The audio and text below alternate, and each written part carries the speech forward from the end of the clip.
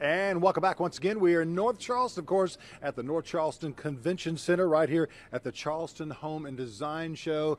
And over 100 vendors will be here this weekend, starting today, all the way into the weekend.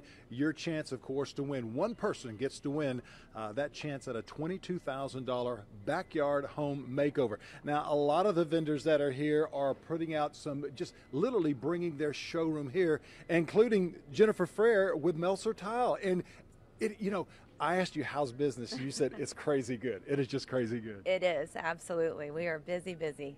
Tell us about uh, your showplace that's here uh, and what people can expect, and then kind of where the trends are going right now with tile.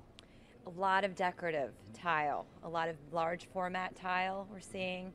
Um, I've got a couple things here, just to sure. little examples. But we bought a lot of fun stuff, just mm-hmm. eye candy, if you would.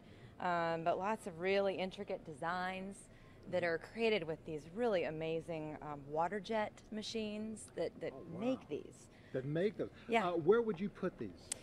We're seeing them on accent walls and mm-hmm. vanity or above vanities in powder rooms, in uh, master bathrooms, on mm-hmm. floors. You could do floor mm-hmm. inlays. A lot of really would, neat. Would things. that go uh, for for a little splash guard maybe in the sure. kitchen? Yeah, absolutely. Because that that's got yeah. some grays and blacks uh, whites, off whites in it as well. This is a little shinier than this. Tell me about the different uh, characters there. This product here is a, is a marble. It's a mm-hmm. polished mm-hmm. marble. Um, and then they, you know, mixed a little, little marble pieces in there to sort of create mm-hmm. the pattern.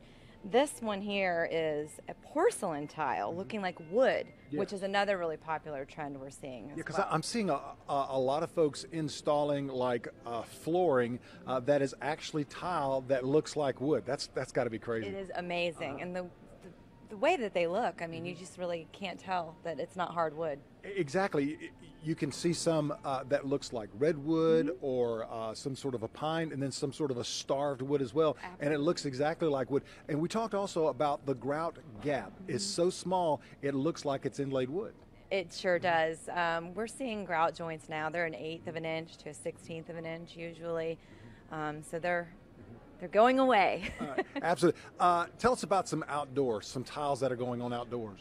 Um, again, a lot of porcelain tiles. Um, porcelain is great for the outdoors. It's durable. It doesn't crack um, in this kind of climate that we're in. Um, large format is a huge thing that we're seeing. Um, the big 24 by 24s. Um, thicker tiles for pavers. Lots of really neat things. Absolutely. Melcer Tile, that's the place to go, that's for sure. Thank you so very much. I know it's going to be a very, very busy weekend for you. Joining me now with uh, switching gears a little bit, sunrooms, and you can see right